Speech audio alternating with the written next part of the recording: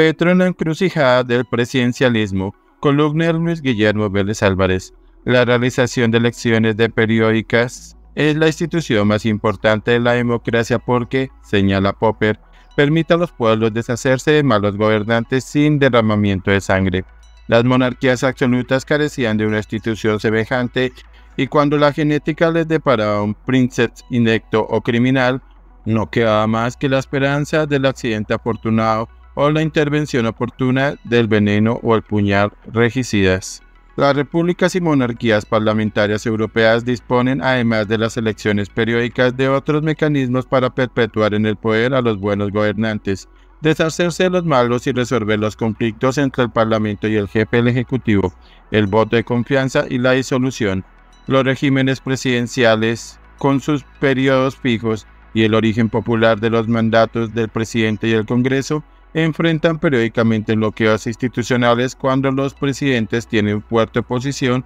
o también cuando gozan de gran popularidad. Desde principios de los 90 se han presentado en América Latina donde el presidencialismo es el régimen político típico, no menos de 20 bloqueos institucionales que llevaron a decisiones políticas un tanto al margen de la Constitución o con reformas sobre medida para prolongar un mandato de presidentes con apoyo popular como Fujimori, Chávez y Uribe, o abreviar al de mandatarios profundamente desprestigiados como Collor de Melo, Abdalá Ucarán y Sánchez Lozada. El inminente colapso del gobierno de Petro y la pérdida de la mayoría en el Congreso plantea un reto al presidencialismo colombiano, que no dispone de un mecanismo de solución expedita del conflicto, semejante de la muerte cruzada de Ecuador o de la destrucción por incapacidad moral de Perú. Tenemos el tortuoso procedimiento de acusación por la Cámara ante el Senado aplicado en el caso de San Pizano por el ingreso a su campaña de dinero del narcotráfico.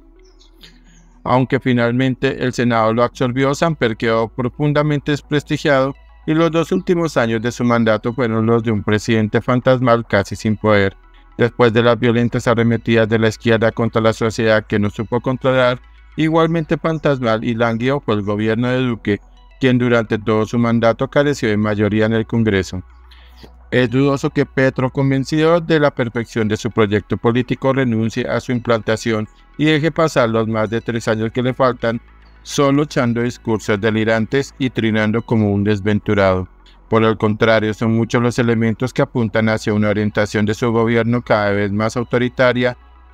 y contraria a la Constitución, apoyada en la milicianización de la que advierte Carlos Alonso Lucio, su antiguo compañero de armas. Dispone de ingentes recursos para comprar apoyos de toda índole.